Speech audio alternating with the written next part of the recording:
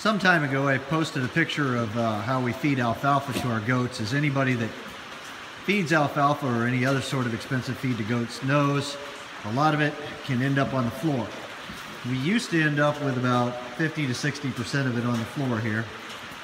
I wanted to show you some of the existing feeders that are here on the farm that I manage for my employer. Uh, this is my favorite right here. You'll notice it's got a concrete base and then it has two welded rebar sections which they've put on here and we walk down where you can see that a little clearer. You can kind of see where the sections join together here and you can see their design. I definitely like this two rebar design. It makes stepping up higher to the feeder a lot better.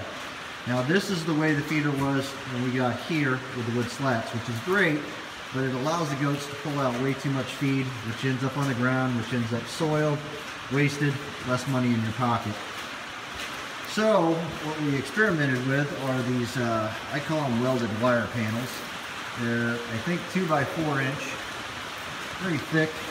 You can see this isn't wire, but uh, rod welded together and we've taken and put those in here behind the slats and you can use zip ties baling twine or just leave it loose like this one is.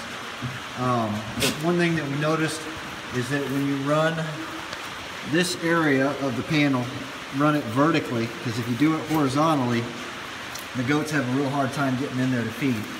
As you can see this little girl right here is having quite the snack and no problem getting to it.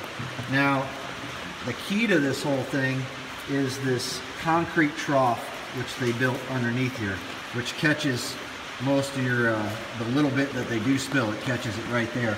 And we clean that out with a leaf blower every day because, well, as you can see down there, uh, goat berries and other miscellaneous items end up in there. So we want to keep them healthy, so we clean that out.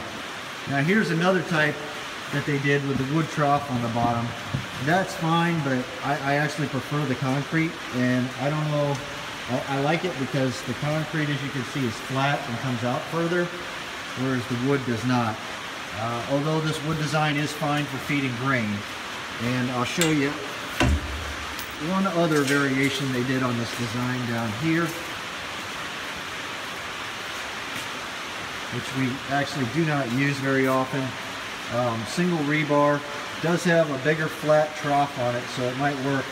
Um, part of the problem with this one the animals uh, I don't know for some reason this one ends up getting messy and we just don't have enough animals right now that we really need that capacity so we don't use it.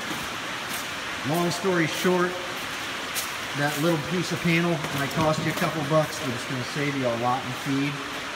Uh, a little further down the line we would love to get this system to where the little bit of grain that we feed them comes down from perhaps the backside and automatically spills in there. If you've ever fed goats, trying to carry a bucket through a crowd of them is uh, interesting to say the least. I hope this has been helpful. I hope it saves you some money and uh, provides you some healthy animals. Until later, bye.